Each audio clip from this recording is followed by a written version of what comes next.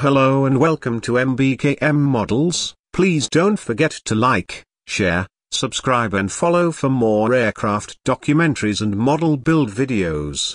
The Bristol Bulldog is a British Royal Air Force single-seat biplane fighter designed during the 1920s by the Bristol Aeroplane Company. More than 400 Bulldogs were produced for the RAF and overseas customers and it was one of the most famous aircraft used by the RAF during the interwar period. The design of the Bulldog was the outcome of a series of design studies for fighters undertaken by Frank Barnwell during the 1920s. In 1924 Barnwell had started work on a fighter powered by the Rolls-Royce Falcon to meet the requirements of specification F1724. The project was shelved since Bristol preferred to use its own engine designs, but was revived in 1926 when Barnwell started work on a design, designated the Bristol 102 to meet either F926 for a day and night fighter or N2126 for a shipborne fighter. The Type 105 designation was first applied to a subsequent proposal for another aircraft to meet F926 powered by the Mercury engine then under development at Bristol. These proposals looked promising enough for a pair of mock-ups to be constructed for inspection by the Air Ministry in February 1927. The two aircraft were similar in design,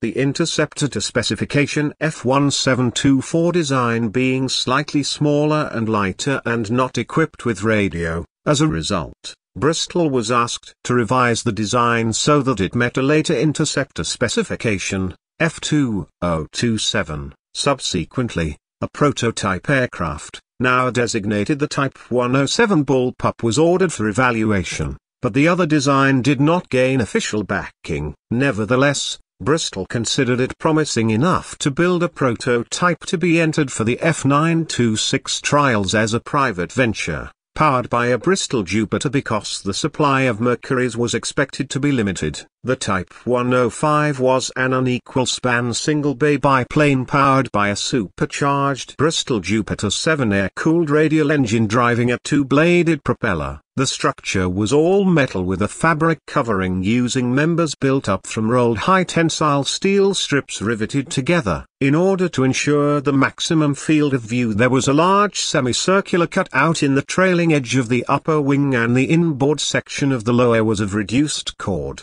Frise ailerons were fitted to the top wing only. It was armed with a pair of 303A inch 7.7A mm Vickers machine guns mounted one either side of the cockpit. The prototype Bulldog first flew on the 17th of May 1927. Initial testing was entirely satisfactory and it was delivered to RAF Martlesham Heath in June. After consideration of all the types entered to meet the specification, the Bulldog and the Hawker Hawfinch were selected for more detailed evaluation. The maneuverability and strength of the Bulldog were praised by the RAF. It had poor spin recovery characteristics, which were remedied by fitting an enlarged fin and rudder but this led to difficulties in taxiing in a crosswind. A second prototype with a lengthened rear fuselage was ordered for further evaluation in comparison with the Hawfinch. In this form, the Type 105A or Bulldog Mark II was first flown by Cyril Uwins on the 21st of January 1928 and shortly afterwards delivered to Martlesham Heath.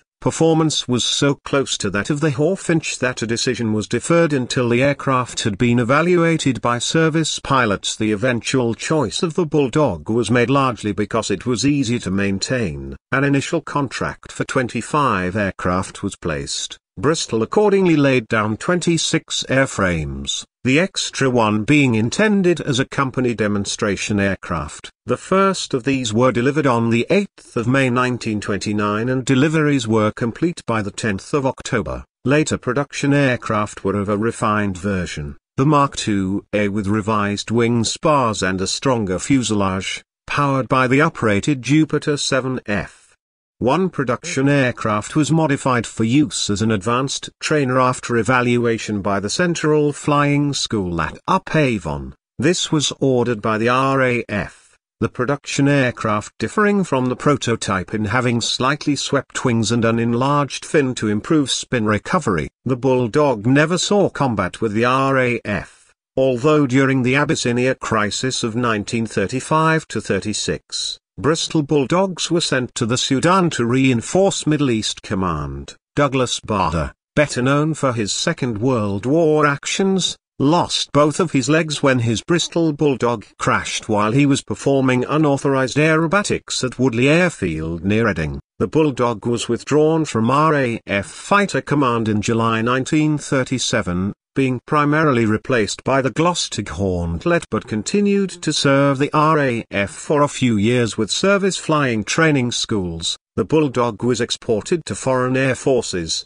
seeing service with Australia, Denmark, Estonia, Finland, Japan, Latvia, Siam and Sweden. In 1936, Latvia, intent on replacing its bulldogs with more modern aircraft, sold 11 bulldogs to Basque nationalist forces. These became part of the Spanish Republican Air Force in the Spanish Civil War remaining in use until the Battle of Santander. 10 bulldogs saw combat as part of the Finnish Air Force during the Winter War against the Soviet Union which began in 1939, the Bulldogs fought against their Soviet opponent, gaining two kills by two pilots for the loss of one of their own, the types shot down being one Polikarpov I-16 and one Tupolev FSB, both of which were superior in terms of technology compared to the Bulldog. The first aerial victory of the Finnish Air Force was achieved by a Bulldog piloted by Staff Sergeant Toivo Uuttu on 1 December 1939,